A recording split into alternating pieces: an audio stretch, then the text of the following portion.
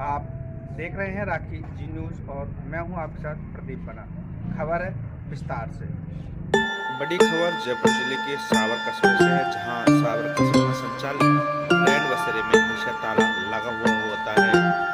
जानकारी के अनुसार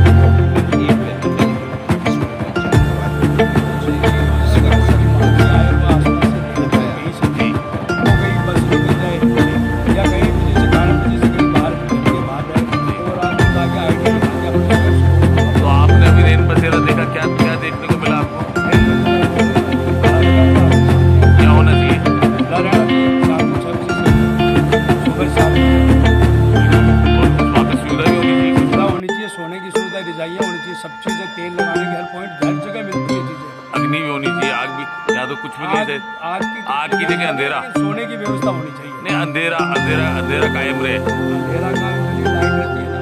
नहीं। लाइट